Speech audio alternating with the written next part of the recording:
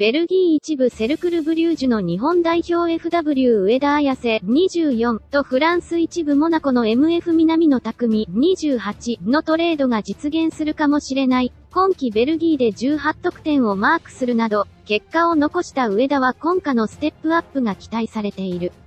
中でも2017年に S ブリュージュを買収した新オーナーは名門モナコの保有者でもあり、同門への移籍も期待される。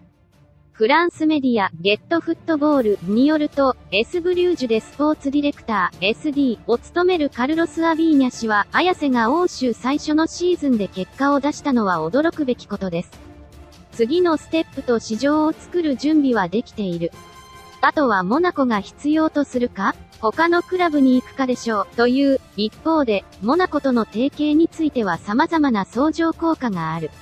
アビーニャ SD は、モナコから多くの選手がレンタルや完全移籍で加入する一方、その反対の動きもある、とモナコから何人もの選手が加わっていると指摘した上で、相乗効果により2クラブ間の選手トレードも可能になりました、と強調した、移籍金1500万ユーロ、約22億5000万円、でモナコに加入した南野は開幕から低迷し出番は激減。2023年に入ってからは、先発出場わずか1試合と厳しい状況に追い込まれている。環境を変えることも再浮上のきっかけになるだけに、南野と上田のトレードが成立する可能性も十分にありそうだ。